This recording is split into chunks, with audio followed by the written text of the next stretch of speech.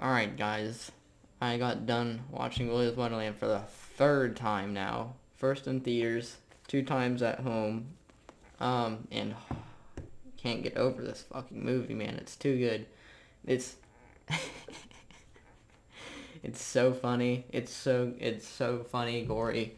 Um, it's everything I wanted and more. So, basically, this is gonna be your little review of Willy's Wonderland. Uh, this will be the spoiler-free one. The spoiler one will probably be around maybe tomorrow, even maybe possibly later today. But first, gotta do the spoiler-free. So, basically, uh, the plot is where a quiet drifter is stranded in a remote town, where he basically his he's runs over a spike strip. That's kind of all that happens there. Um, and then can't pay can't pay to fix the tires or has to go work at Willy's Wonderland. The animatronics come to life. That's it. Well, the teen, teens come, but I mean that's that's filler. but this movie is great. It it's very 80s like.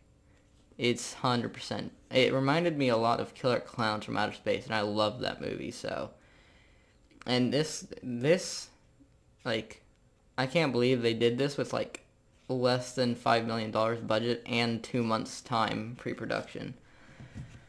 Uh, this movie is all in all, as it says, Nicolas Cage batshit crazy. So, uh, if you like seeing Nicolas, if you think uh, Nicolas Cage beating the shit out of animatronics sounds cool, then you should watch this movie.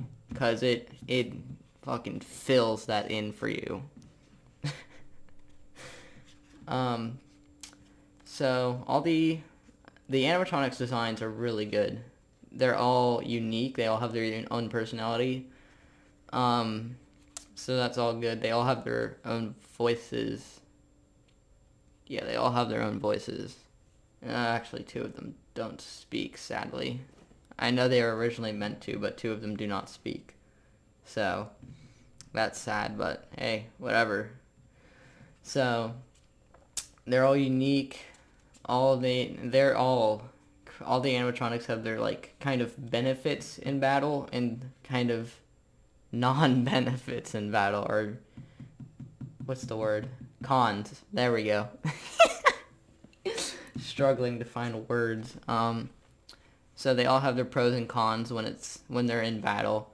And it's um really interesting to see how it plays out even though you know Nicolas Cage is probably going to beat the shit out of them which he does so that happens but this movie is um basically best way I can describe it, an acid trip. You're you're like on you're on like on drugs while watching Nicolas Cage beat the absolute fuck out of animatronics. So that's really all I have to say for this. Um, rating for it. This may be one of the best, in my opinion, one of my favorite horror movies I've seen ever. so um, not sure what I'd have to give it. Maybe I would say in between 9 and 10 out of 10. In that area. So probably 9.5 out of 10. There were definitely a few very small things I would change.